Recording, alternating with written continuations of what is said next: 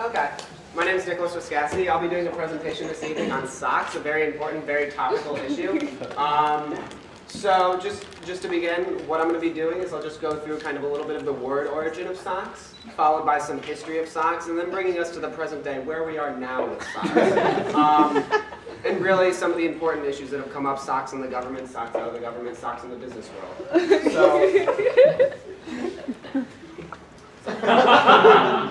so first, what are socks? Socks are an item of clothing worn on the feet, usually under shoes, sometimes under sandals if you're in Florida and over the age of 70.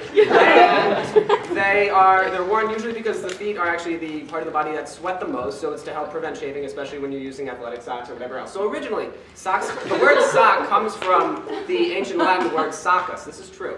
Um, which meant a low-heeled shoe, and that was so that was what was used in ancient times. Um, followed by that, it was then changed into sock, spelled S-O-C-C, in Old English to mean a light slipper. So let's go through the history now. Originally, socks were animal skins that were tied around the foot, and they were used in prehistoric times, not prehistoric times, um, in like, you know, 1000 BC, they were used by people. They would just, you get the animal skin, it would protect your foot. It was very helpful. It was, people found it was better than stepping on rocks and thorns all the time.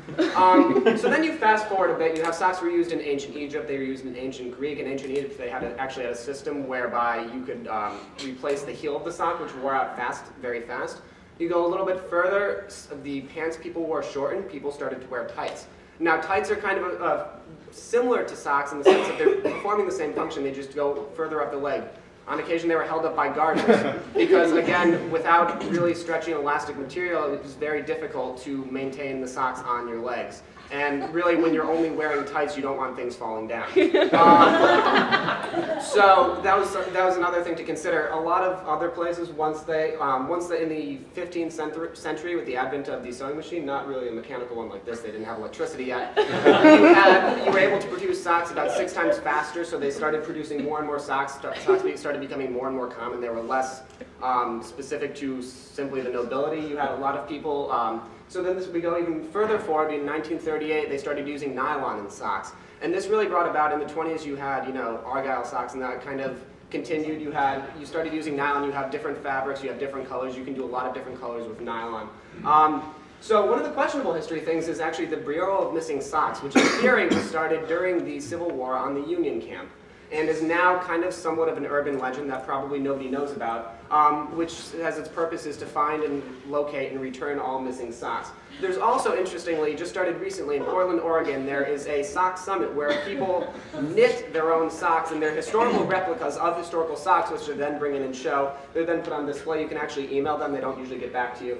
Um, it's really interesting. So now let's go to socks in the present day. Socks are actually very important for a lot of different reasons. First, we go into athletics. Athletic teams use socks really to mark what team, who's on what team, it's part of the uniform. And it's really a crucial part if you look at soccer, you look at football, really any sports.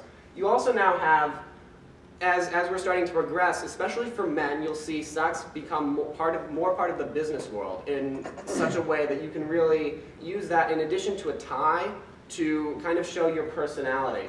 And this is something that I, I think I think a lot of people have seen recently. That, so they have different types of socks that try to kind of make people seem more personable. Um, very, very recently we've seen with George H.W. Bush we saw him with his red, white, and blue American socks, which I believe were on the national news at one point. Um, and you'd see, you know, just that being a real big issue. Another thing we look at is foot wraps. So a lot of Eastern European militaries, until very recently, actually used foot wraps rather than socks in the military.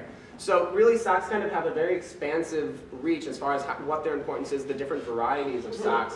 These are, as I mentioned, the George W. or H.W. Bush socks, which he wore at a meeting, I believe, with the president. Um, you also see people now starting to use socks to politic, trying to wear funny socks to show that they have, you know, personality when maybe people don't really see a personality in the person. um, which is really another another thing that people are starting to do that's starting to become more and more important. So it's really, I mean, it's really, it's something that people really underestimate the importance of and the kind of the variety that we see, but socks are in fact very important. So now one of the mysteries I'd like to explore, the wash and the dry, why does one sock always disappear? so there are two theories. The first one is that there's actually a portal to Narnia and some of the socks escape. Not as likely. The second theory is actually that When you put your socks from the washer into the dryer, the static cling sticks one to the top of the barrel in the, in the dryer. You then take your load out, missing the sock, you bring that up to your up to your room, whatever. You lose the sock, you get the other sock in the next load, but you can't remember where you put the isolated sock. You now have one sock and no matching sock.